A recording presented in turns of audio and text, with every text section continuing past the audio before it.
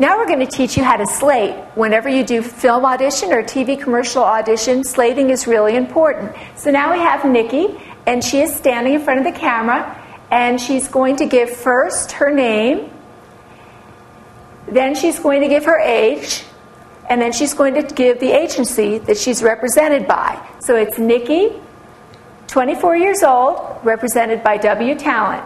Now Nikki's going to give us profiles one whole profile, turn the other whole profile, and now we're going to do a full, slow turn to camera. This allows the client to review all the women and men that are auditioning for a role and see a full body, a face shot, and a side to side so that they have confidence when they're booking you for a role that they know how you look from every angle. Hi, I'm Nikki Corsetti. I'm 24 years old.